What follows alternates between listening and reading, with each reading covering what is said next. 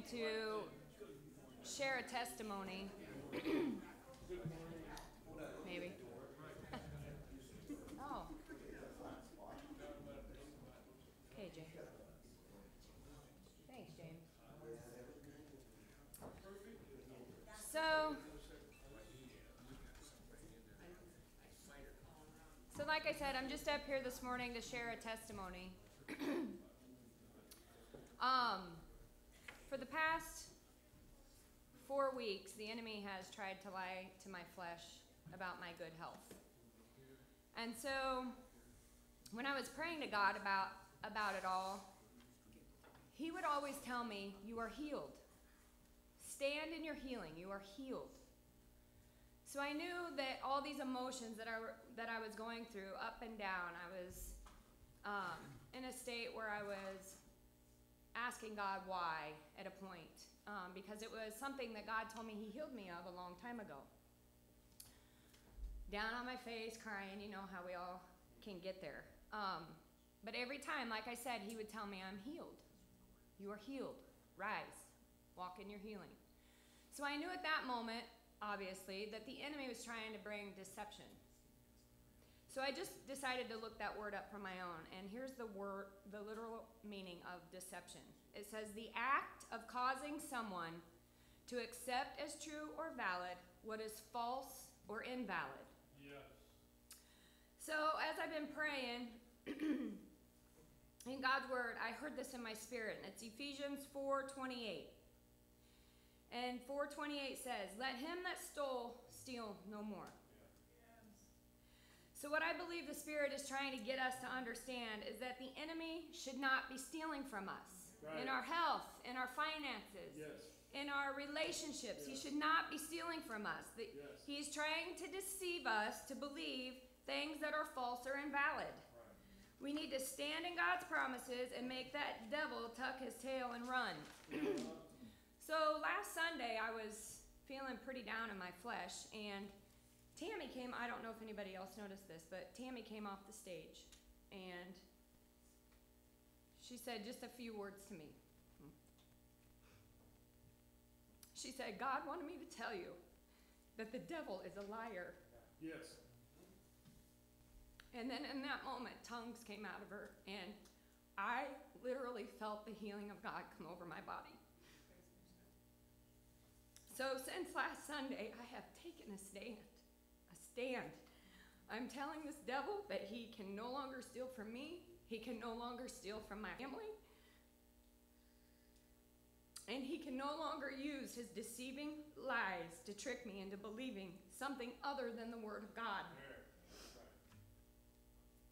God also revealed to me that a lie cannot stay in my midst. He said, Because God, I am in your midst. He and a lie can't mix. So where God is, there is no lie that can stand. And it has to bow and go. Yeah. Right. So from that moment that Tammy spoke those words to me, through this week, God has empowered even my flesh to take that stand in Him. And I'm also up here to encourage anybody. If you do hear from God through the service, to step out and say whatever He has on your mind because you don't know what can happen in that moment. He, he literally has encouraged me to know that He does hear my cry. Even when I'm down in the valley, He hears my cry. Yes. And He'll get that word to you if if we're in need of it. So I just I was hoping Tammy would be here this morning. I just wanted to thank her for being obedient and stepping out and doing that because we all need encouragement. God also wanted me to say we all need to be gathered together. We need to edify each other through this time because these times, even though we are victorious in these times, they're dark. And the enemy's going to try to deceive. He's going to try to bring doubt into your heart. And he can't.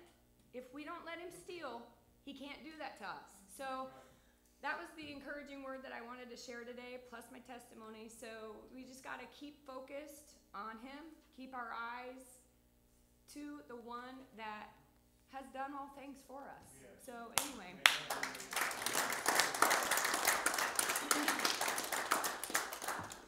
so, with that, if anybody else has a good testimony, yeah. Well, scripture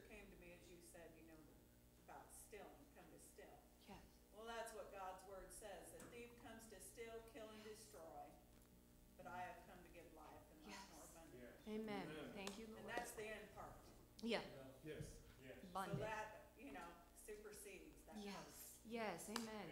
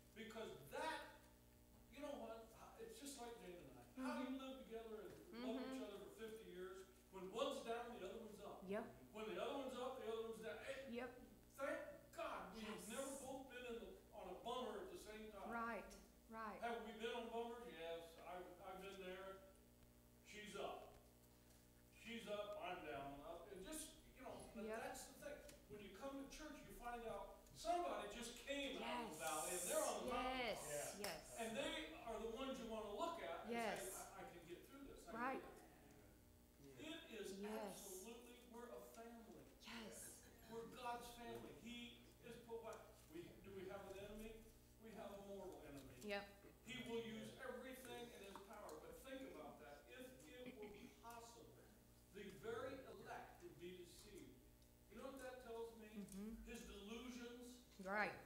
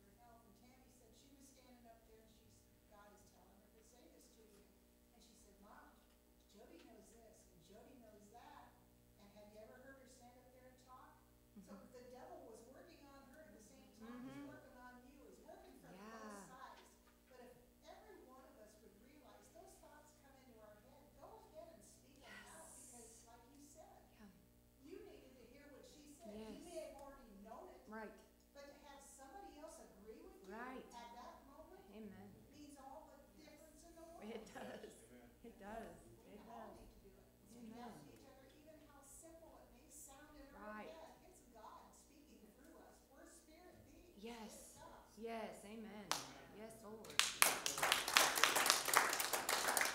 remember, you can do all things through Christ Jesus who strengthens you. Mhm. Um, I Mm. visited Nadine's grave, uh, a very special neighbor of mine, and, uh, there's a pretty important phrase to remember, don't put off today what you can do tomorrow. Mm, So, you know, you can do stuff today, get it done today, and tomorrow will take care of itself. That's the whole thing, and just giving faith and, you know, just, uh, I find that compliments are very strong any place you can be. And then I, I hope that people take that seriously. I even go to work and compliment people and maybe some people don't understand it, but, uh, you know, God works through all this. yes, amen, amen, James. The. Anybody else? Yes, Mike? I just keep Cindy lifted up, um, right now, I'm just talking to her, she's at a level three, uh, pain, they're not gonna release her until the pain comes down a little bit more.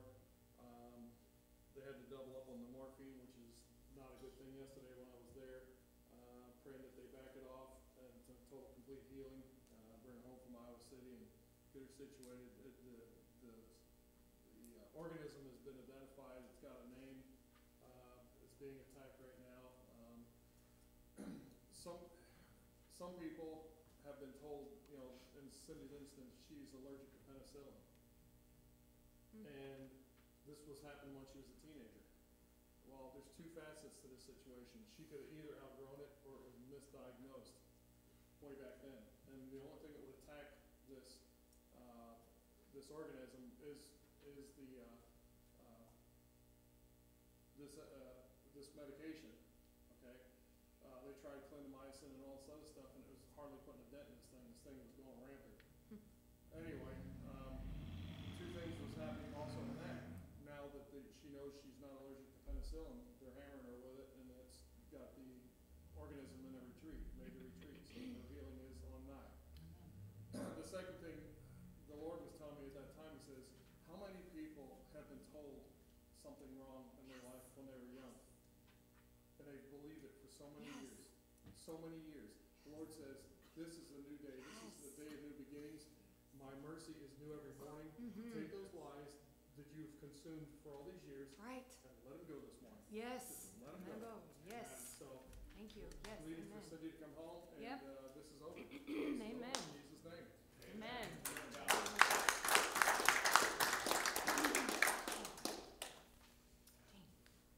This, this is something that everybody probably knows, but every now and then something hits you anew, Mhm. and it's like, oh yeah, you know, really, really hits you. I heard, uh, um, Andrew Mo- Wommack the other morning preaching about the difference between a miracle and a blessing. Mm-hmm, And I knew what a miracle was. I Mm-hmm. And, but the way he said it was like, a miracle is something that is outside the laws of nature.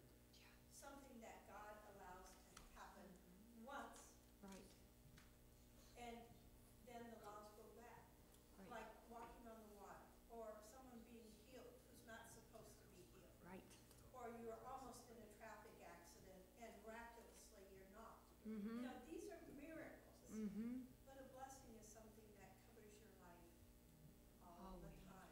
Yes. You know, and I don't know why, but Yes. somehow that just really Yes, impacted me. yes, I wanna amen. share that. Thank you,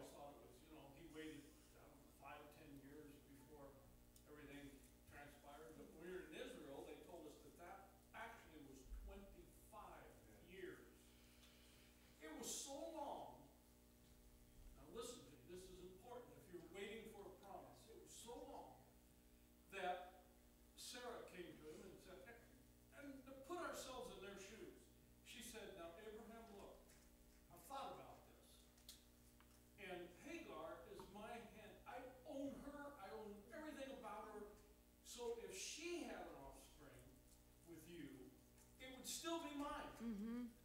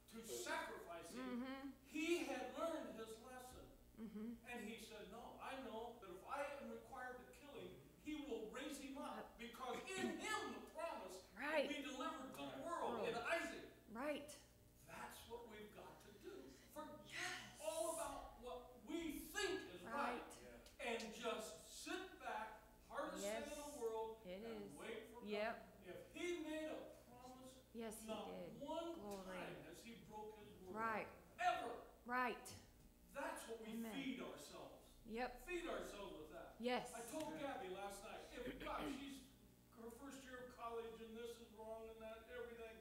I said, Gabby, remember this. If God be for us, Yes. Ooh, you've got to, like Toby said, you've got to believe it. It's, Yes, it, why do we believe that and not this? right. Because we have spiritually discerned Yep, something in us says, this is the this is truth. God. Right, I've sought God and Yes. God lead me to the truth. yes. And Amen. he will. I said, if God be for you, sweetheart, Yep, nobody can be Right. against you. amen. It may look like it, and they may have a little victory here or there, but the war is ours. Yes. The victory's ours. Yes, amen.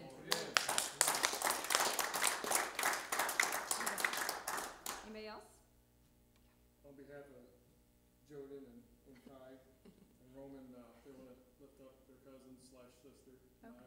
Naya, Naya, Field. okay, So- amen, amen. Sheila's here. Yay, Sheila. Finally get some sun in my face. Yeah, So it was, uh, it was a month ago yesterday that the day started out as any ordinary day and swiftly changed. Mm. But, you know, um, I was reading this morning, and everything give thanks. I guess that leaves no excuses or circumstances, right? Right, No right. perimeters around that, Right. so. Uh, I still don't really have clear understanding of why or how, and, you know, this whole thing kinda changed my life. I'm still dealing with this, I don't know what I'm gonna do with the knee yet, we haven't gone that far. The meniscus is torn, but I'm just believing that the Lord's healing yes, that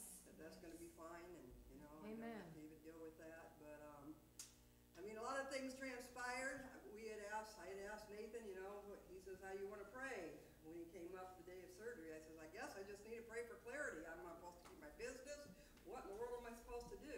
So, I guess I could write a book of all the things that happened, but at the hospital, uh, I'm pretty nice to everybody, and my kids tell me I was sleeping half the time, which I probably was, cause I don't have much recall, but there was a lady that walked in and was cleaning my room, and she's from Kenya, and, you know, I always make it a point to talk to people, and she's like, you're really nice to, and I said, well, I, I do the kind of work that you do, and I can just really appreciate the value that you add to the hospital here.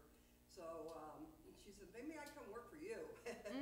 And she has two other people that she says, they're good workers. My eight-year-old, he knows how to wash dishes, he knows how to make beds, he knows how to do everything. We teach our kids from little how to clean. So she says, I got two people that come work for you. Yeah.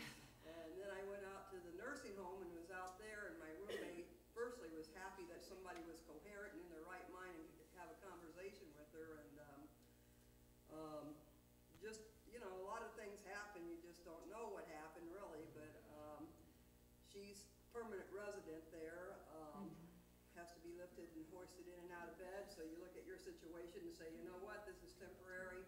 uh, This is not forever for me. Right, And so I think I was probably the youngest there for sure, and just kind of the light that was kind of like bubbly, and everybody's looking at you, and I'm thinking, you know, I, I have hope because I'm getting out of here. yeah, But, you know, it was so funny because we have the curtain drawn, and I'm like, leg up, leg move, leg wake up. I'm just talking to this leg. Yeah. She's like, who are you talking to? I'm talking to my leg. yes, Nerves. I think she thought I was a little Looney Tune at this point. And so finally, I mean, I'm grunting and groaning, and I, I thought it was getting an infection in it, and it's really painful, but I kind of weaned myself off the pain pills. They're like, really, you don't want any? I'm like, I don't want any. No, I'm not getting addicted to this junk. I don't Right. like pain pills. I had John bringing me my health food every day at the hospital and there, and I had my oils, and I'm just, you know, doing yeah, what I do. Anyway, and, uh, so finally, we was just chit chat. She says, can I ask you something? I'm like, sure. She says, do you ever cuss? I know you're hurting over there and you never say, and I'm like, well, I was raised in a, in a home where cussing was not permitted or allowed, so I'm not saying I never do, but yeah, that's just not really part of my vocabulary. And she says, I am so sorry. I says, so we talked a minute, and I says, well, can I ask you a question? She says, sure. I says, have you ever accepted Jesus as your Lord and Savior mm -hmm. then, you know? And she said, yeah. I says, well, is there anything that I can pray specifically, you know, uh, that we can pray about, your children, your family, or anything? So I had the opportunity to share with her a little bit, you know, the love of Jesus. And mm -hmm. uh, mm-hmm. another lady, um, all crippled up, started talking to her, and she was supposed to have had surgery two years ago on her hand, but she's too tiny, too fragile, so they won't do it. I says, well, then let's pray that the Lord puts some weight on your bones. You yeah. Know? So Amen. I says, we're going to pray that the Lord heals his hand, that you don't have to have surgery, but in the meantime, if you right. want to gain some weight. So, I mean, just doors opened up. They asked me yes. if I'd come out there and volunteer. They're like, will you just come out and please just come out and, you know, when you're back on your feet. And then they says, you know, furthermore, can we use your cleaning service? And would you like to grow your cleaning service? Because we have people that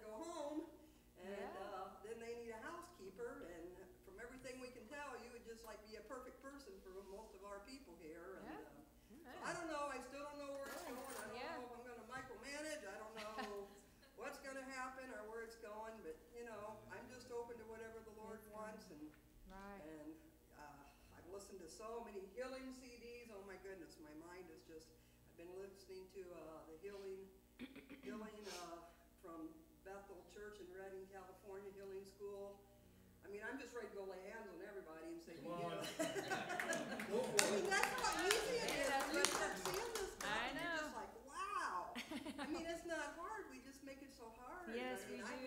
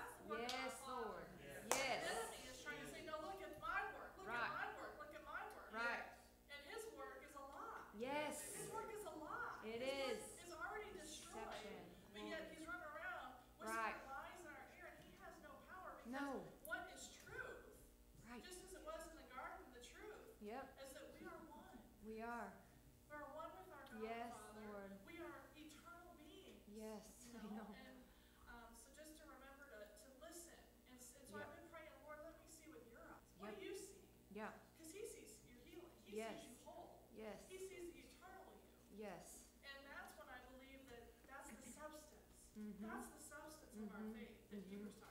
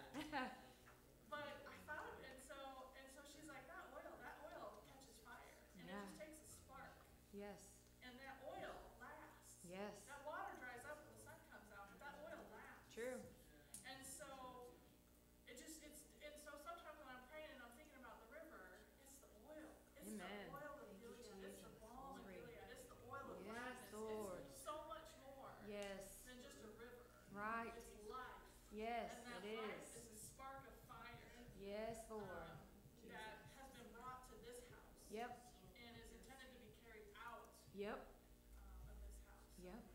Amen. Glory. Amen. Um, I just wanna add this to what, uh, Suzanne just said. When Sarah was little, like maybe seven, Mhm. eight, we'd been in a, a Pentecostal church, they'd gone forward with the whole thing.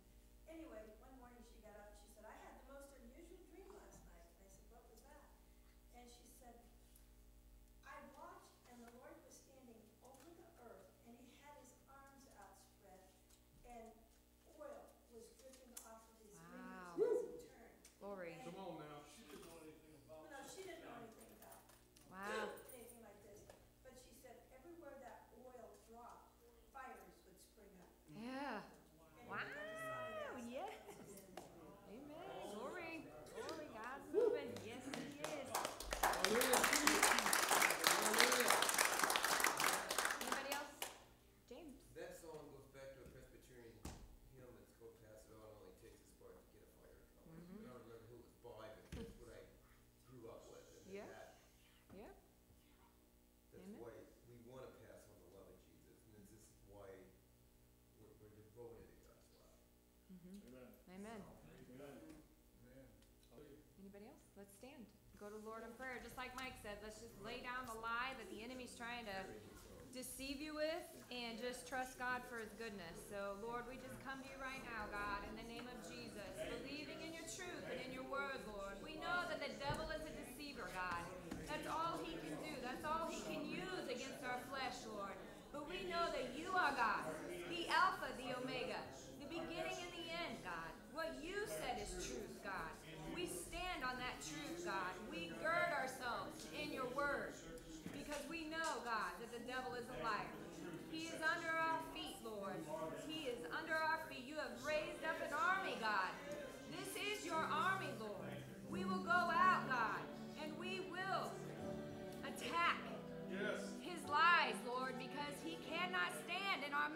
because you are in our midst. Thank you, God, for healing our bodies, our minds. Thank you, God, for prospering everything we touch. Thank you, God, for healing us, Lord, physically and emotionally, Lord. You have healed us. We just have to step into that reality, God, to know Yes, you are for us and not against us, God. Every time the enemy comes with a lie, Lord, we replace it with your word. we do have the faith in us, Lord, because you are in us. And it is good. Yes, Lord. It is good all the time, God. Yes, Lord. We love you, Lord, and thank you for the testimonies that have been shared, God, because it encourages us to go forward. Lord. Because we know we are victorious, Lord. We are victorious this day, Lord. You are a now God. You are a now God. What happened yesterday gone. We focus right now in your truth and in your love. We love you, Lord. We praise you. I thank you for your people, God. You have called us to this church. You have called us all together in your midst. Because you do have promises for us, Lord. And we will stand on that truth, God. We love you, Lord. We love you, Lord. Lord, we love And you. thank you, Jesus. In your mighty name we pray. Thank you, Lord. Thank you, Lord. Jordan, you're up. Okay. If you have got a cell phone, if you can turn it on silent or completely off. Please. Thank you, thank you. And now let's speak the word because we know the word is truth and where we send it, it can, can't return void. So, Lord,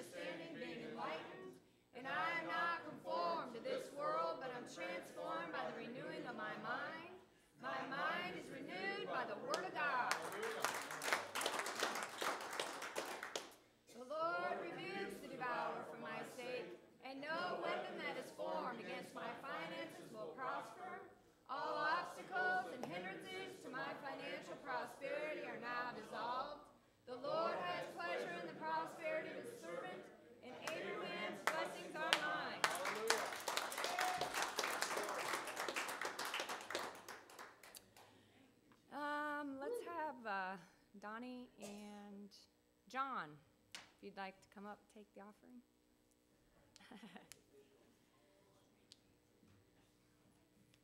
And Donnie, if you'd like to pray over the offering. Heavenly Father, we're Yes, so God. thankful to be here today, Lord. We're just so thankful to have brothers and sisters that we can share the battle stories with. Yes, Lord. We need to encourage one another. Yes, God. we thank you that there is love and peace and understanding among your people. We are sorry that at times we fail ourselves more than you. Jesus, glory. You are, you see us as pure and holy. Yes, yes. Sometimes we don't see ourselves that way, but Father, help us to we are. grasp that image and Yes. understand. We thank you for hiding us in the world. Yes, We don't know exactly what's gonna happen because neither does the devil. right, He doesn't know. Right. He- If he'd have known who you were right. and really known who you were, you wouldn't have been able to go to Calvary. Jesus, But glory. thank God he was in the dark and he's in the dark about each and every one of Yes. us. So we thank you, Lord. We Yes. ask you to bless this offering. Encourage us. Yes, Lord. Help us to encourage one another. Yes, For we ask it all in Jesus' mighty name. Amen. Hallelujah. And one more thing that I've been hearing since we've been praying is God doesn't do things halfway. He does it completely for you. So anyway, let's just worship him. Thank you, Jody. Thank you so much. Encouraging words. Hey, Michael, is the uh, broadcast volume down about sixty percent? I don't know if I remember to bring it down. Thank you. Hallelujah. Some may have wondered why I was here at House of Prayer instead of with my wife on Friday night. Uh, Apparently you don't know my wife. I asked her, I said, do you want me to come over to Iowa City and spend some time with you, or should I go to House of Prayer? She goes, I want you to go to House of Prayer. And give the devil a black eye for me. It's just the way she is. I, I, you know, a lot of people would take off to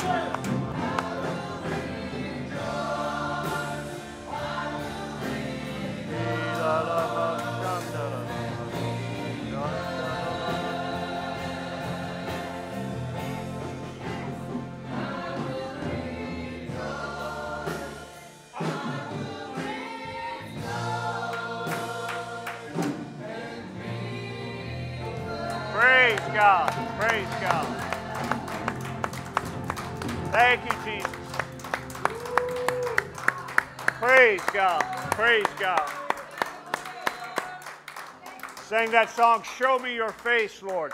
I just invite you to turn and look at the person next to you. You want to see the face of God? It's right here. Praise the Lord.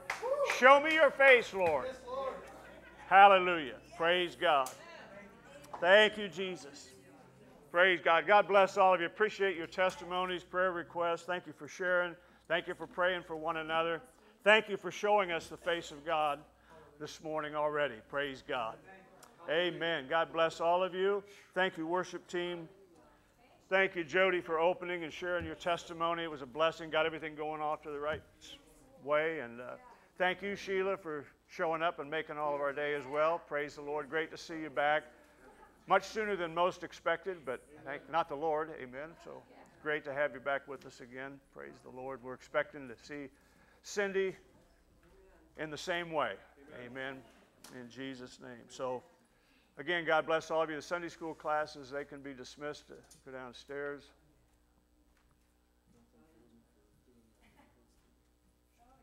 Well, they're doing that. Mike's always saying for the little kids to do something, so as I'm listening to this Bethel School of Healing, there's this big robust guy who just had all kinds of multitude of problems, including alcohol and drugs. And his son finally convinced him to come to this Bethel School, right? And he's like real hesitant, and he's, he, he finally got him to come. And, um, the guy came with the exception of, nobody touches me. I don't want anybody laying hands on me, nobody's to touch me, never, okay? And so he, he went up front and they're like, okay, we won't touch you. Well, unbeknownst to this little boy, Nobody uh, he comes up and the fire of God's in him and he touches this big old guy and he falls down and he, and he's delivered. I mean, he's just totally, and he's like, who touched me? Just really mad, and really angry. Like, it's like, we didn't touch you, we didn't touch you. That little 10 year old touched you. Praise God. And the little guy couldn't be mad anymore. It's like, hey, you know, but you know, that, I mean, I'm just so glad you keep declaring this to these kids because. Praise the Lord. Amen. Praise God.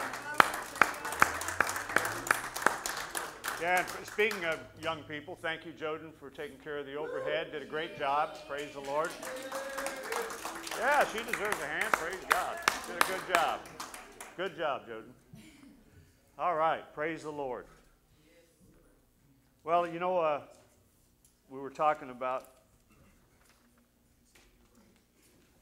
the Lord manifesting himself, showing himself, revealing himself, and how the devil lies and God's trying to get the truth to us. And that's really what I want to talk to you about this morning. It's very simple, but sometimes I've found that some of the simplest messages speak more to me than uh, the ones you try to get real deep on and just confuse everybody. Praise the Lord. But I want to talk to you about salvation. I want to talk to you about real salvation. I want, I'm not just talking about the, uh, the, the typical way that we think of being born again, which is uh, absolutely good, and, and, and obviously we all need to be born again to be saved and, and uh, to be one with Christ. But it goes much further than that, and I think we have we've been amiss when it comes to really talking about what happens to us when we get saved. I mean, it's been more about, you know, well, I'm not going to hell now, so that's a good thing. And, which it is a good thing, but that really isn't what it's about. That's almost a, you know, a, a perk that comes with salvation. It's not the whole point of salvation. Otherwise, God would immediately take us the moment we got born again and we'd be through all this mess. But there's a reason for us being here. It's the same reason that Jesus came in the first place, and that is to bear image of God, to reveal God. And we see ourselves, because of the enemy and all the things that we've already talked about, how the devil lies to us, we see ourselves so, so less than what we really are. And we, I think sometimes we've been afraid to really speak out boldly who and what we are in Christ for fear that it would sound like blasphemy. Well, it sounded like blasphemy when Jesus did it, and he was just simply the firstborn of many brethren. I think it's time that we began to really boldly declare who we are so that we can accomplish what God has left us here and put us here for in the first place. So that's what I really want to talk to you about. So there's going to be a lot of familiar scriptures, but I want to just go a little bit under the skin maybe and, and kind of really flesh out what God is saying to us in a lot of these uh, situations and kind of bring it into a, uh, an understandable uh, framework. Because we are more than conquerors. We are the offspring of God. We are kings and priests. We are all things to all people as we walk in Christ, as we recognize and understand our identity. That's how we lay hands on the sick and they get recovered. They don't, they don't, nobody gets recovered when Nathan prays for them. Hey, that's just a fact. And he won't get, they won't get delivered, you know, when you pray for them. But when you pray in Christ, when you pray in your real identity, not your flesh, not your humanity, but that humanity that is joined with Christ, then you function just like Jesus. That's our, that's our inherit. That's our heritage, amen, in Christ. And so until we see ourselves, see the devil, he spends his whole career and our lifetimes trying to convince us that we're just flesh and blood that may be a little bit better than some other flesh and blood. No, we are flesh and blood joined to God, one with God, just exactly like Jesus was. That's why we had to be born from above. You can go through all the histrionics of that and the, and the you know, the metaphysical or the physical and how does the sperm, you know, from God get to, hey, look, just forget all that. This isn't how it happens. God breathes life into somebody and they become a living soul. We were all dead, amen, in our trespasses and sins. God breathed the ruach or the, the life of God into us and we become living beings. We become godlike. And anybody tell you, oh, whoa, whoa, whoa, wait a minute, back up now. Listen, you, read the Bible. Jesus said himself, you know, you, you read the scriptures and they, they, they declare that you are God's. So why are you complaining when I come and tell you that I'm the Son of God? That I am God in the flesh? Praise the Lord. So if I make you nervous this morning, just get over it. Pass, you know, just put your own spin on it and make it sound good and comfortable for you. But I'm just going to say it the way I see it. Praise God. Yes. And I'll leave it up to God to work all that out. Thank God for grace. Praise the Lord. So I want to begin with Genesis chapter 1, and I want to read verses 26 and 27.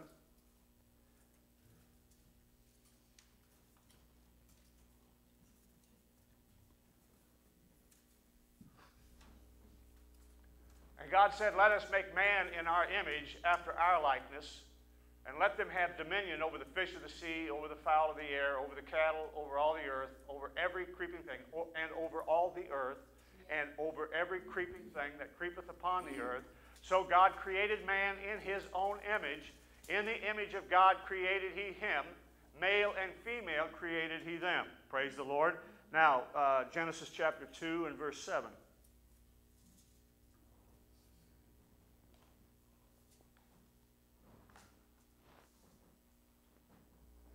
And the Lord God formed man of the dust of the ground and breathed into his nostrils the breath of life.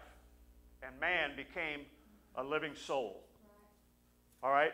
Colossians chapter 2, verses 8 through 10. Colossians 2, 8 through 10.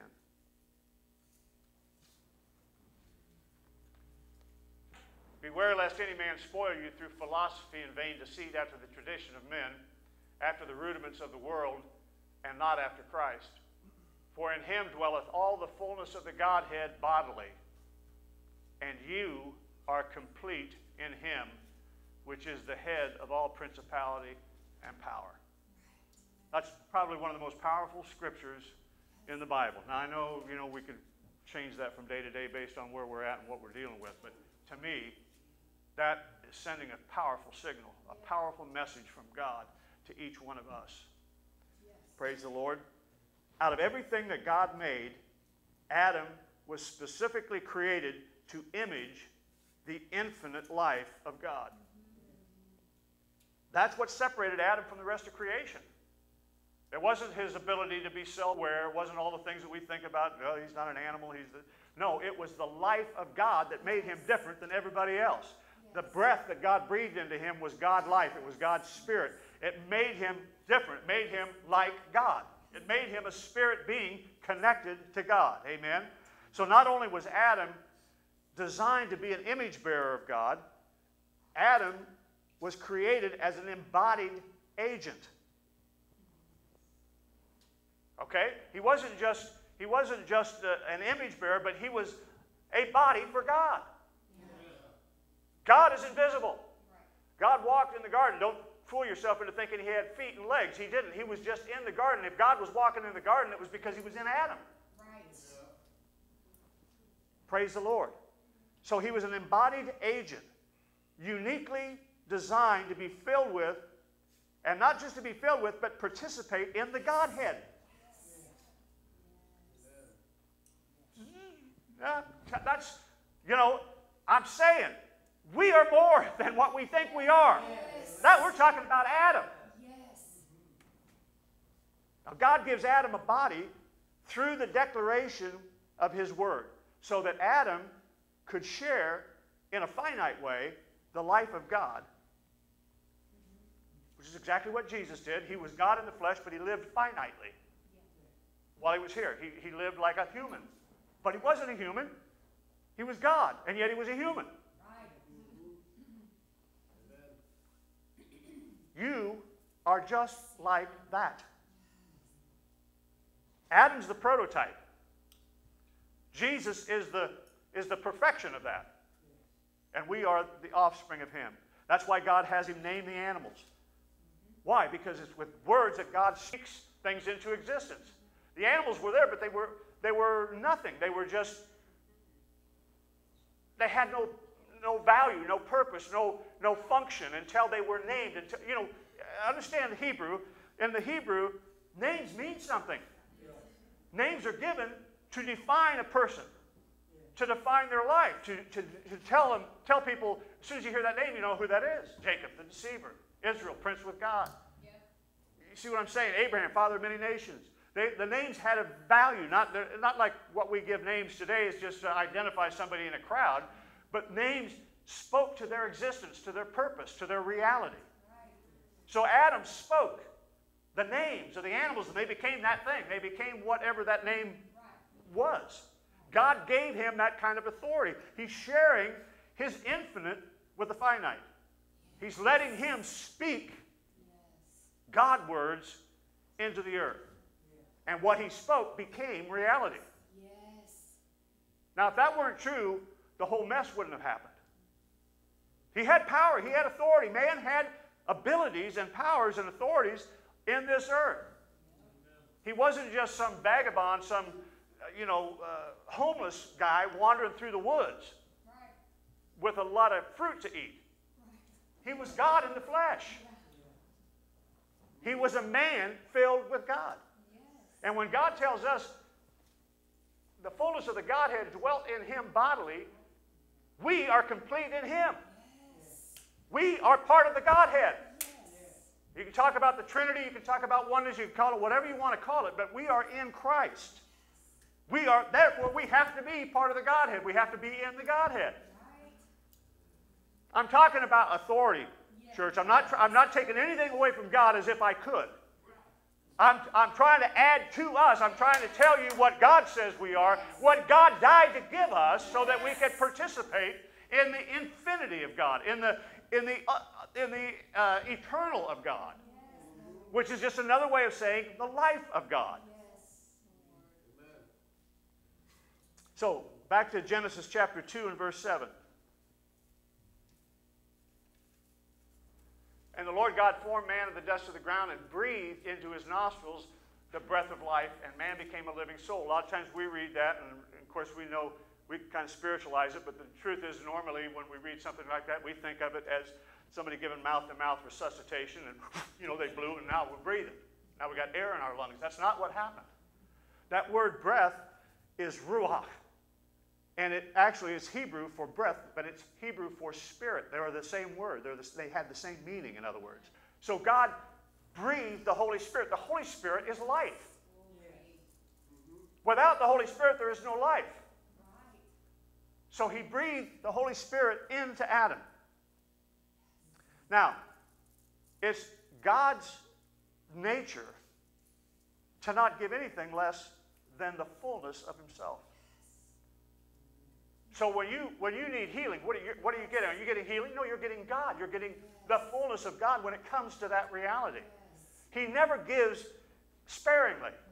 He always gives the fullness. In fact, look at John chapter 1 and verse 16. You didn't get a little Holy Ghost. You know what I mean? You didn't get a little saved. You got the fullness of God. You got all of God when God gave you salvation, when His grace gave salvation. Of His fullness. Of His fullness. That's not a hard word. Of His fullness have all we received, and grace for grace. We're not, we didn't get some. We got the fullness. Say, well, God's ever, how can you have that? How, how can you have the fullness? I, I don't know how, I just know we did. Because it's a spirit. It's not how big we are, how much we can hold. We, we have the fullness. If Jesus was a man and, and lived in the time that he lived, he was probably 5'6, 5'5, some maybe shorter yet than that. Not, not a huge mammoth of a guy. He was an average sized guy in his time because it says, you know, he didn't stand out in the crowd. It wasn't like he, you know, you would see him immediately and say, oh, there's something special about that guy. And yet the fullness of the Godhead dwelt in him bodily. And we are complete in him. Praise God. So, you know, let me just say this. Don was talking about him and Jane's, the longevity of their marriage and how every marriage, you know, we know, thank God the other person, or hopefully that other person's going to be up when you're down, because otherwise it could really get funky in a hurry, you know. But God, how many know God's not male or female? He has no gender. God's just God. So, well, Adam was not complete because of that. Why? Why was he not complete? Because he wasn't like God. He, he, wasn't, he wasn't yet the image of God. Because he had gender. Right? He had a male specific body. And so God takes the rib from ish, is the Hebrew word for man, and he takes that ish and he made it into isha, which is female or woman. Why? Because he wanted him to be in his image. So, after personally fashioning the woman, God presents man and woman to one another as the completion of themselves. So we can get off into all the homosexual stuff and everything else, but I'm telling you, there's a reason for it's man and woman. Because we are incomplete. We're not God like without that balance. I mean, I learned a long time ago women are different than guys in a lot of ways, not just physically, but in so many other ways. I mean, it's hard to have a conversation sometimes with a woman if you don't know them. Because you're thinking, why, why, why would they even think something? Why would they even say something like that? Because they're not you, stupid. They're, they, they don't think like you. They think differently. And thank God they do. So God united the Ish and the Isha together as one. Mm-hmm. Genesis chapter 2, 24 and 25. Now, we always talk about this at a wedding, but I'm, I'm telling you, there's more to this than just a wedding service.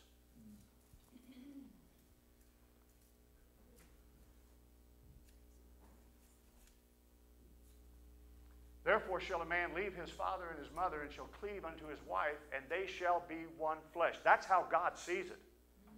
Now we could say, well, you know, that's because of intercourse, it's because of a lot of it. No, it's because when God puts you together with this woman, he sees you as a complete one, a, a, a unified reality.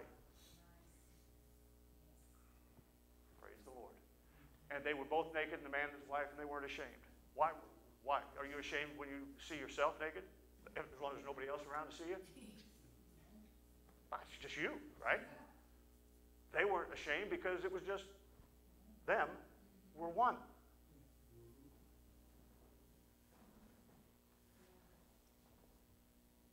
So that was the prototype for the rest of humanity. Now, it could be a metaphor, but I think it's a, it's a reality as well. Because God looked on all that word had spoke into existence. including man or Adam and Eve. Human. Complete. And he declared it to be very good. And it was for a while. But look at Mark 10 and verse 18. Now, Scripture doesn't contradict itself, so I'm going to. Jesus said unto him, Why callest thou me good? There's none good but one, and that's God. Jesus wasn't saying he wasn't God, and he wasn't saying he wasn't good. He was just asking the guy, because I talked about this Wednesday night, the guy thought he was good. In other words, he, he, he's saying, I keep all the commandments, and in fact, by saying that he keeps all the commandments, he broke the first commandment. He was declaring himself to be good without God. Amen? He had another God before him. He, he was committing idolatry. It was personal idolatry. But Jesus said, there's only one thing that's good, and that's God. God sees this completion, Adam and Eve, and he said, it's good. It's God. It's a God thing. They are a God thing. So the serpent enters in Genesis chapter 3 and verse 1.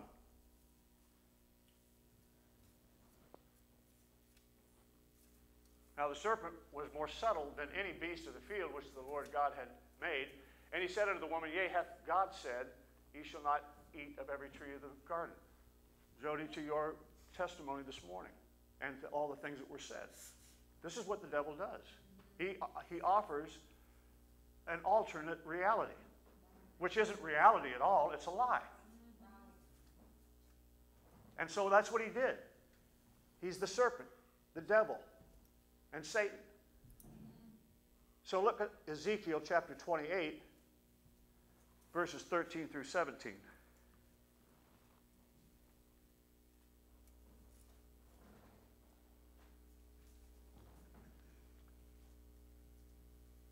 Now, this is not, you know, when I say this, uh, Ezekiel 28, 13 through 17, when I say this, it isn't so that we go around saying, oh, I'm God. I mean, you know, I'm good. I'm like God.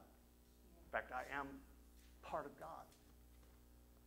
It isn't that because Jesus was God in the flesh. He is God in the flesh. He is God and He is like us, or we are like Him once we're born again. But here's what the scripture says the scripture says, though he was God, he didn't commit robbery to be equal with God, and yet he humbled himself. He lived as a human, operating by God's power, by the, by the authority of God, life that was in him. So this isn't about us being able to go around and say, oh, you see, because I'm really special because I'm part of the Godhead, or I'm in the Godhead and I'm complete, and you're not. That's not the point. We humble ourselves. We live in a human world, but we operate in the power of God. So he said, Thou hast been in Eden, the garden of God. This is the devil. So the, the devil, the devil was there. The devil was in the garden with Adam and Eve. This wasn't like the first time Adam and Eve ever saw the devil.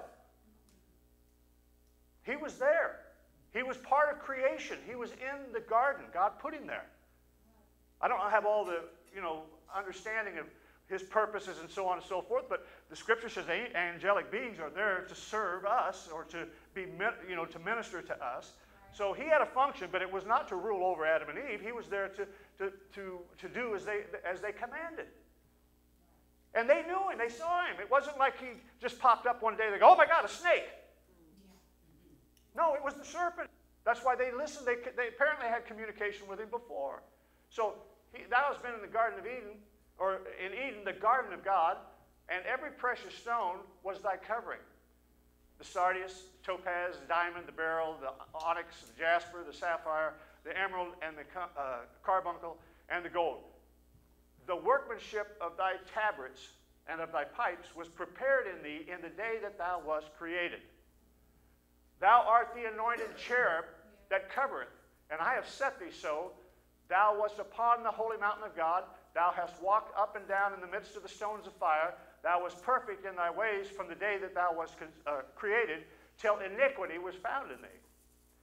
By the multitude of thy merchandise, they have filled the midst of thee with violence, and thou hast sinned. Therefore, I will cast thee as profane out of the mountain of God, and I will destroy thee, O covering cherub, from the midst of the stones of fire. Thine heart was lifted up because of thy beauty. Thou hast corrupted thy wisdom by reason of thy brightness. I will cast thee to the ground. I will lay thee before kings, that they may behold thee. So that's Satan.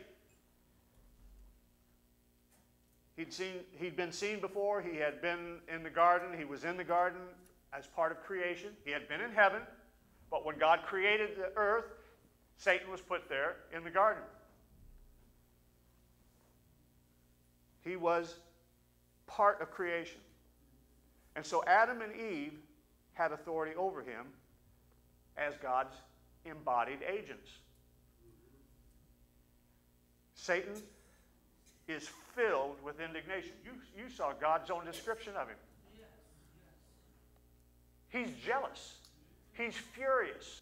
He's indignant. Amen. He is he, he's almost like he's insane with jealousy and pride. And so he approaches Adam and Eve, these people who are now God. And he can't ever be anything but an angel that God created. And so he's freaking out, and he comes to Adam and Eve, and his intent is a coup d'etat. He wasn't coming just to try to trick them into being stupid or do something ignorant. He was trying to get authority. He was trying to do what he could not do any other way. He was unable to. And having failed at, at uh, overthrowing God's rule and, and authority, he attempts to usurp it by convincing Adam and Eve to enter into an agreement with him instead of God. In other words, to commit spiritual adultery. See, Adam and Eve were the bride of God. We see them as two separate people, but God saw them as one complete. They were his bride. Then nothing changed because Jesus comes along, we become the bride of Christ. All through the scripture, God's, God shows himself to be the husband, and his covenant people are his bride. So he gets them to commit spiritual adultery. They're making Satan husband, God of this world. 2 Corinthians chapter 4 and verse 4.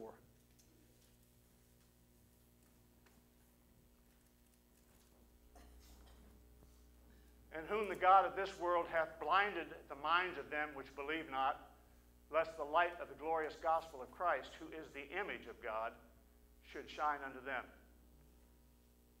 So they eat from the tree of the knowledge of good and evil.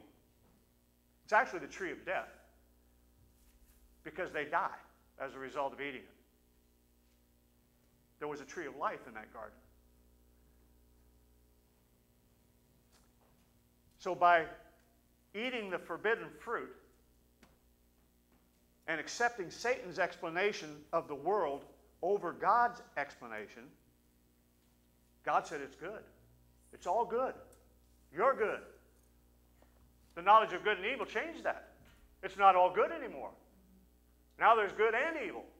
Now there's something other than what God declared in the earth. And it could only happen if something in the Godhead participated in that usurping or, or rebellion. Satan knew it.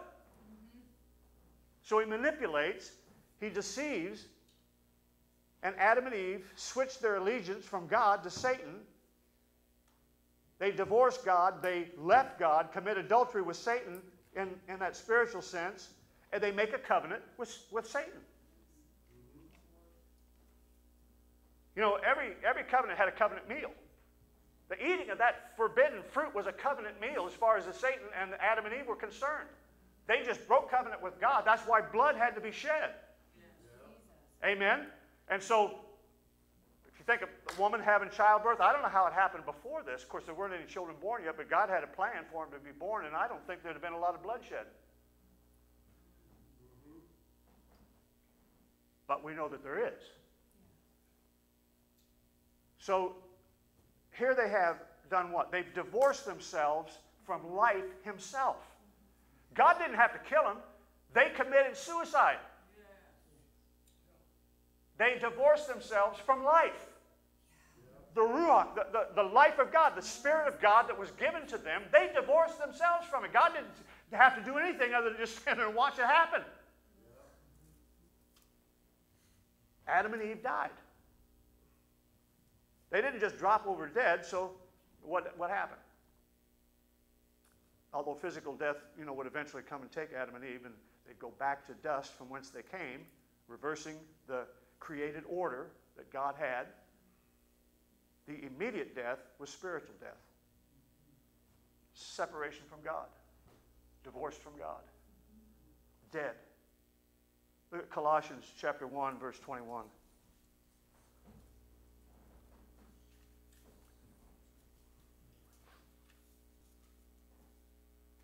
And you that were sometimes alienated and enemies in your mind by wicked works, yet now hath he reconciled. Reconcile, reconciliation, put back in the original condition where you were before you were dead. When Adam and Eve died, spiritually, they breathed out the spirit that united them to the Father. Adam and Eve also experienced disunion to one another. We won't go there for the sake of time, but Genesis 3:12 and 13 talks about first thing happens, Eve turns on Adam and Adam turns on Eve. They were one before that. Now all of a sudden he did it. She told me to do it. That woman you gave me. Now all of a sudden they're not one anymore. They're two distinct individuals that are fussing and fighting with each other. Why? Because they don't have God life anymore. They're dead to their union, to their reality, to their completeness. And, and if, you read, if you look at the scriptures, subsequently, God even addresses them as individuals, whereas before they were a unified whole. They were a one. Now, all of a sudden, there are two distinct individuals dead to God. Genesis 3, verses 16 through 19. Of course, this is where God pronounces what he's going to do and how he's going to do it and to restore this original reality. And to the woman he said, I will greatly multiply thy sorrow and thy conception in sorrow. Thou shalt bring forth children, and thy desire shall be to thy husband and he shall rule over thee. He wasn't ever to be ruling over her. They were one. How can you rule over yourself? Right. This is a, this is a result of the fall. So, husband, he shall rule over thee. And Adam he said, Because thou hast hearkened unto the voice of thy wife, and hast eaten of the tree of which I commanded thee, saying, Thou shalt not eat of it. Cursed is the ground for thy sake, and in sorrow shalt thou eat of it all the days of your life. Thorns also and thistles shall it bring forth, and thou, and, and thou shalt eat the herb, uh, the herb of the field. In the sweat of thy face shalt thou eat bread, till thou return unto the ground, for out of it wast thou taken, for dust thou art, and unto dust thou shalt return. So the creation is flipped. And if you look at the scriptures from Genesis 3 all the way through Malachi, you have a history of disunion, discord, death. It's the theme for all of humanity.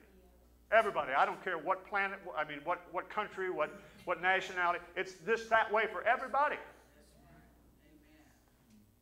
So, all through the Old Testament, God refers to himself as a husband. And the covenant people are his wife or his bride. Humans divorce themselves from God, and yet God remains faithful. That's the whole book of Hosea. Hosea chapter 2, verses 16 through 20, just as a little marker here.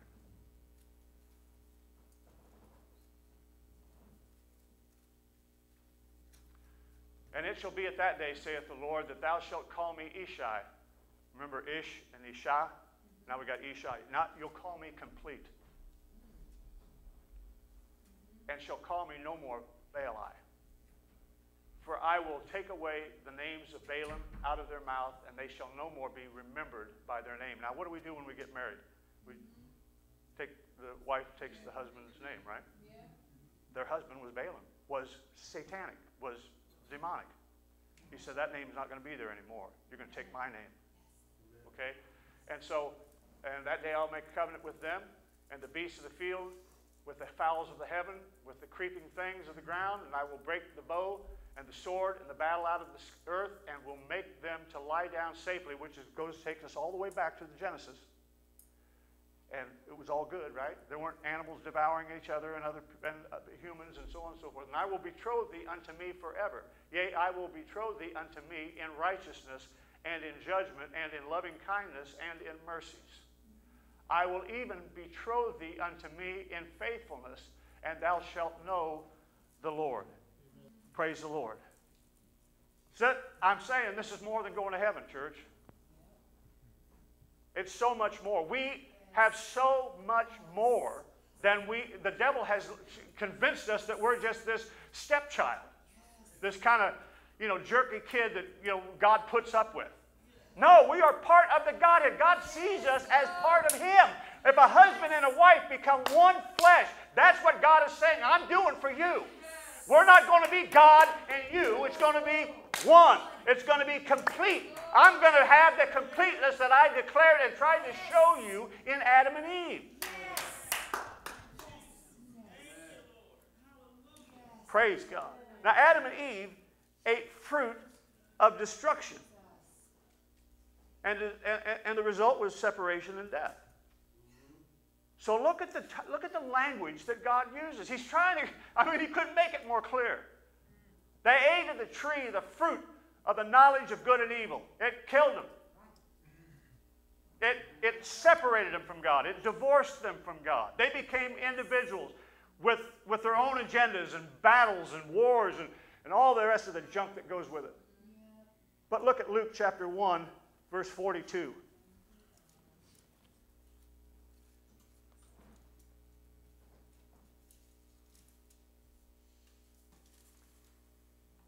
And God ruachs to this little Hebrew gal. And she spake out with a loud voice and said, Blessed art thou among women, and blessed is the fruit of thy womb. The fruit of thy womb. All right, John chapter 6, verse 53 and 54. Now, after all these years, we see the tree of life. It's all been about the tree of the knowledge of good and evil. But now, all of a sudden, the tree of life shows up. And Jesus said unto them, Verily, verily, I say unto you, except you eat the flesh of the Son of Man, drink his blood, you have no life in you. Whosoever eateth my flesh and drinketh my blood hath eternal life, and I will raise him up at the last day.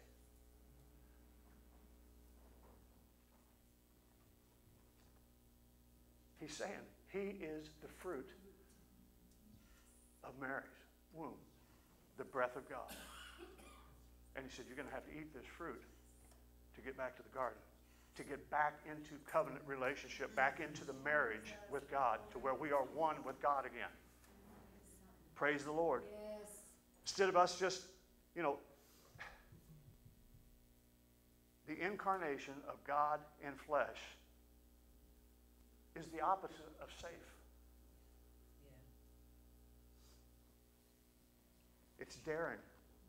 It's bold. It's in your face. It stretches our understanding, not just of nature of God, but it stretches the imagination of the nature of God and the capacity of humanity. Because we know we'll never figure out all of God. But this is more than just making God different than what we thought, but it stretches what humanity can be. Hebrews chapter 2, verses 14 through 17.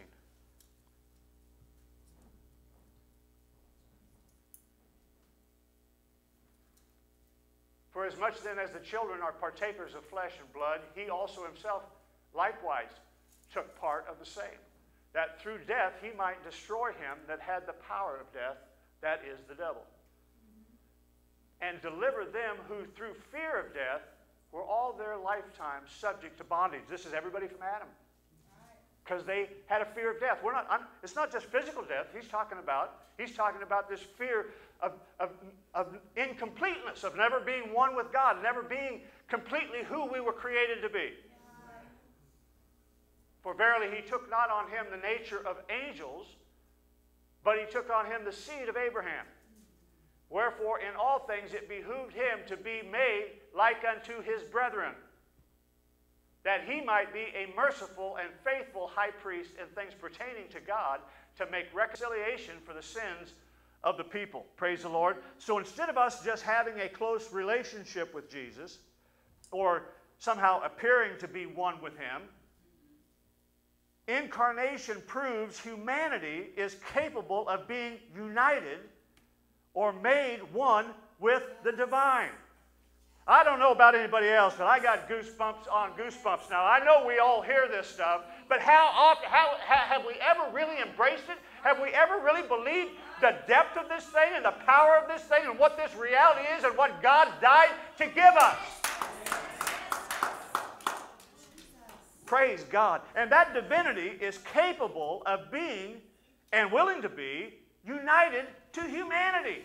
The God of creation, the God that is eternal, that ever was, and ever will be. He chose, not only is He able, but wanted to be one with humanity. He died for this. And we think it's about going to heaven. God created us with a capacity to live in Him. Christ.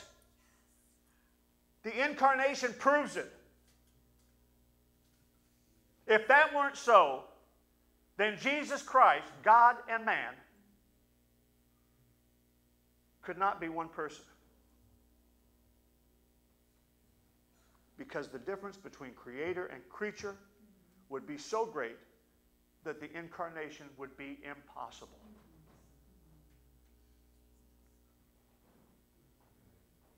But not only is union with Christ possible, church, it's necessary for salvation. You can't be saved unless this is true. Well, I don't know about you, but I'm looking at you altogether different. Paul said, I see Christ and Him crucified. That's all I can see. I see God in men. I see you, I see God. I see a complete person, what they were created to be in the first place, what this why this world is so screwed up. Because it's incomplete, because it's looking for everything, but it'll never find it. We can give it any name we want to give it. It's hatred, it's bitterness, it's bias, it's prejudice, it's, it's, just, it's greed, it's whatever. No, it's not being who we were created to be. It's not being complete in God. That is right. That is right. That is right.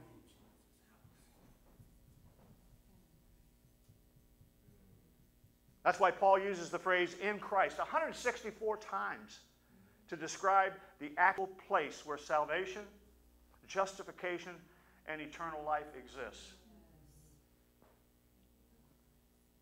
Eternal life is not something God produces, but somebody God offers Himself. Colossians 1, verse 15. I mean, see, Jesus, it was said, you know, he, he only said what he heard his father say, he only did what he saw his father do.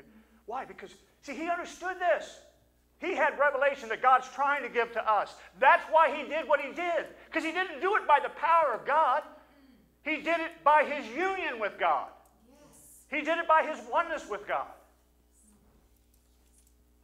Which is why the devil is all about trying to keep us separate from God trying to make it about us. Anything but our, our true identity of being one in God. Who is the image of the invisible God, the firstborn of every creature. talking about Jesus, the image of the invisible God. First one to come along since Adam. Firstborn of every creature. That's not talking about every animal, he's talking about of, uh, of every human, of every created being. 1 Corinthians chapter 15, verse 23.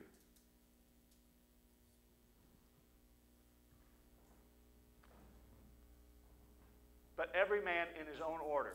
Christ, the first fruits that we have to eat of, right? To Get back to the tree of life. Afterward, they that are Christ at his coming. So, Christ isn't just the first in time, but he's the first in type. Because now, God has done something in Jesus that connects us literally. It's no more it's no more metaphor. It's no more, I mean, not that Adam and Eve weren't filled with God, but they were, he was showing us everything by them that was really about us and him. To be one with God, to be complete with God, to be, to be back in authority, God's authority in human beings.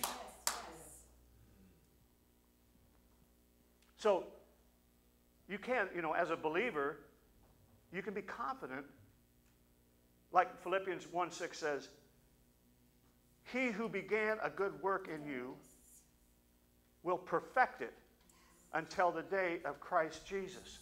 Christ Jesus, the perfect, the God man. That's what he's doing. That's what he's trying to do by the Word of God. Renew our mind. He's trying to perfect us yes.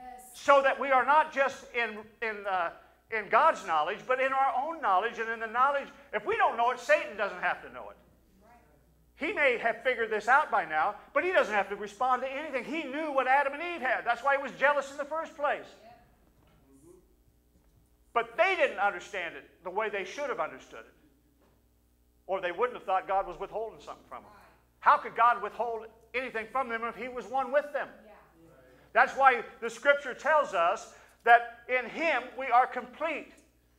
All, he has given us all things in Jesus Christ. If he's given us himself, he says, then why would we think that he would not give us all things? What, what things are there outside of him?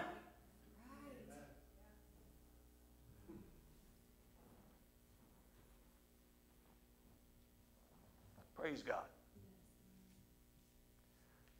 So then, all, all of us, everybody that are, that are in Christ, and that's why I, I struggle with that, the believers. I understand why we say it, and I say it too, but I'm just saying, we're so much more than believers. We are the reality. Of course, you have to believe, but I'm saying we have, we've dumbed it down to, well, you know, we're believers. This is a group of believers. No, this is, this is a, a group of Jesus or God in the flesh. Why do we have a problem saying that when that's everything that the Bible's trying to tell us?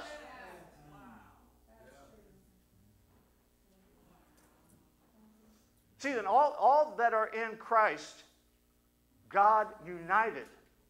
For everybody that's in Christ, God has united the fullness of our humanity to Him or in Him, and vice versa.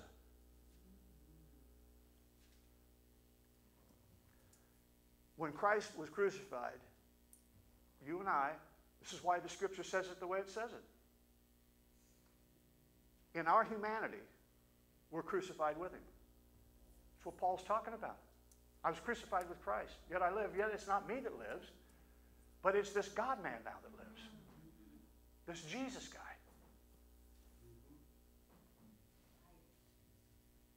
When Christ died for our sin, we died with him to sin. Sin has no more dominion over us.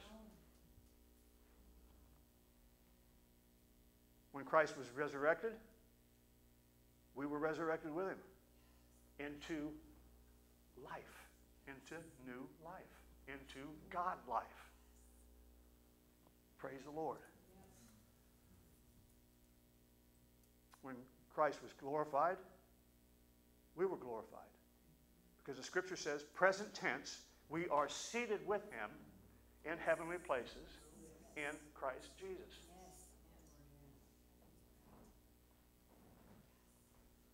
So instead of being restored to the image of the first Adam, we are transformed into the image of the perfect image himself.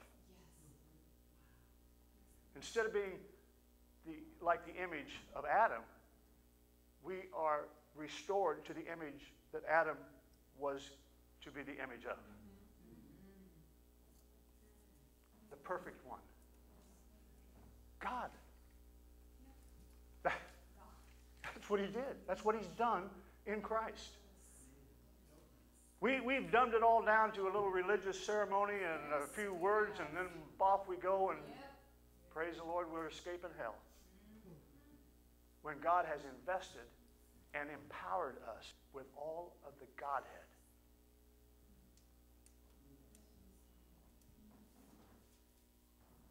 Praise God. The firstborn of the new creation, perfection, God life. So, how, how does union with Christ affect our lives here and now? What real difference does it make? Well, it means that all things are possible to those who are in Christ Jesus. Nothing shall be impossible to you. That's our divine reality. As people that are made one with God, nothing shall be impossible. Was anything impossible for Jesus? No, we, we saw it.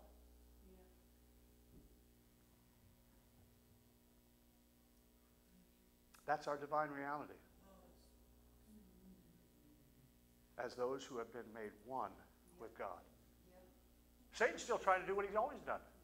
He, he's trying to get us to buy his explanation of the world instead of understanding God's reality and God's truth of this world and our position in it and our authority over it. Last scripture, John 14, verses 10 through 12. That's why we ought to be bold. But it's also why we're not bold. Because we don't look at it this way. We look at it as something that God just comes along occasionally and empowers us to do something for a specific situation or a particular problem. We are the answer to every problem, just as Jesus was. Whatever the need is, that's what we're there for. If healing's what's needed, we heal. You understand what I'm saying? God heals through us. We are one with God. Can't, we can't be separated from Him. Well, listen, if we don't get it now, you'll get it the moment you drop dead in the natural. You'll know it right away then. Praise the Lord.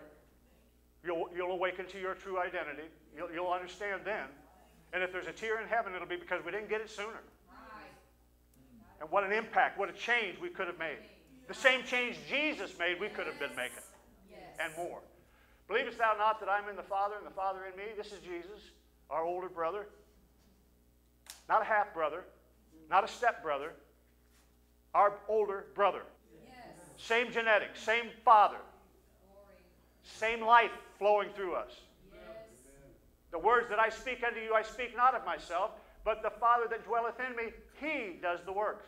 Believe me that I'm in the Father and that the Father's in me, or else believe me for the very work's sake. Verily, verily, I say unto you, he that believeth on me, the works that I do, shall he do also. And greater works than these shall he do, because I go unto my Father. Praise God. Ooh, man. Thank you, Jesus. Uh, drop, drop down to verse 17. We'll read verses 17 through 20. Now look at, look at, this is following. This is right after what Jesus just said, right? And I said, I'm going to give you, I'm going to the Father because I'm going to give you something that's going to make you, I'm going to give you my Father's DNA. The same DNA I have, I'm going to give you. I'm going to give you God life. Even the Spirit of truth, the Spirit of life, the Spirit of God, Holy Spirit, whatever name you want to give it, whom the world cannot receive because it seeth him not, neither knoweth him. But you know him, for he dwelleth with you. Jesus, the Spirit was there with him. And you shall and he and shall be in you.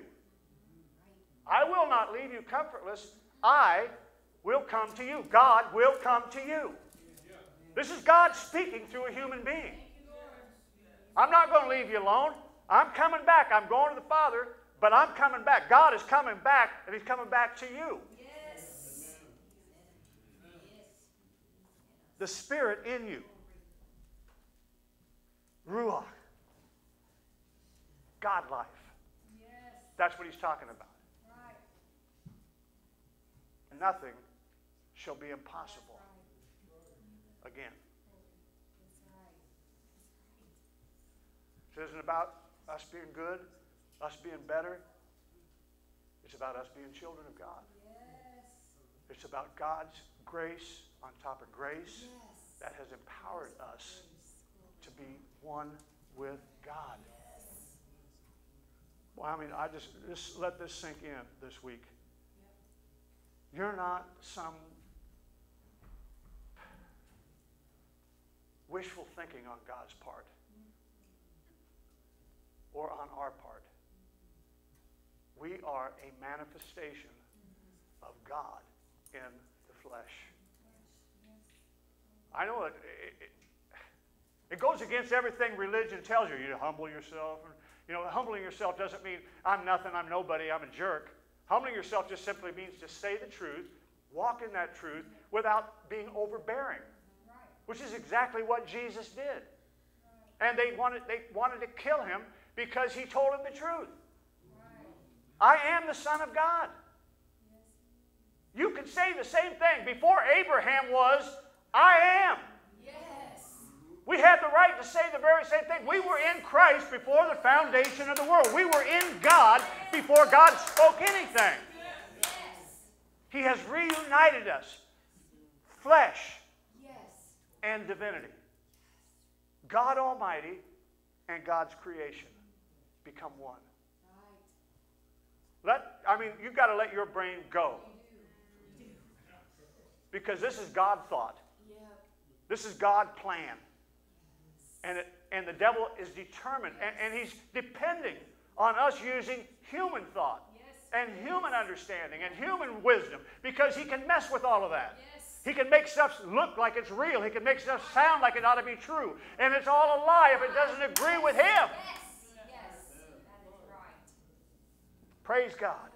So, Sheila, you're absolutely right. What's in you saying, God, I just need to get out there and lay hands on somebody? It's not just a message, it's, it's that message resonating with the truth of God in whom you are.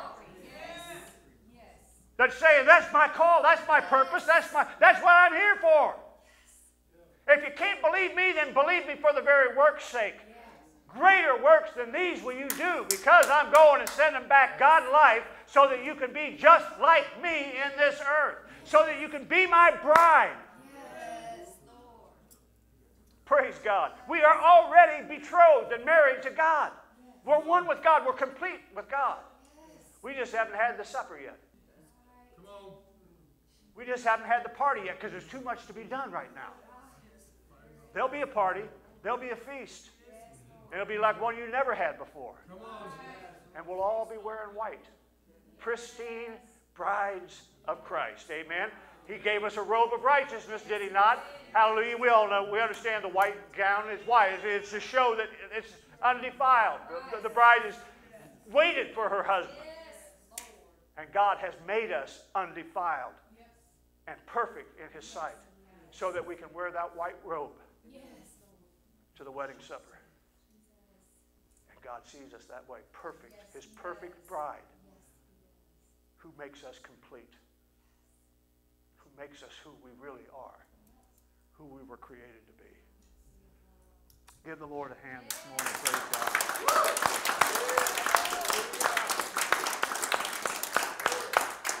Praise God. Don't let the devil rob you of who you are in God. He has no power over you. He, he shakes in his boots at the very knowledge that we have when we exercise it. He does. Resist him, and he'll flee like the rat that he is. Praise God. Amen. God bless all of you. Go in the power of His might. That's who you are in Jesus' name. God bless all of you. You're dismissed this morning in Jesus' name.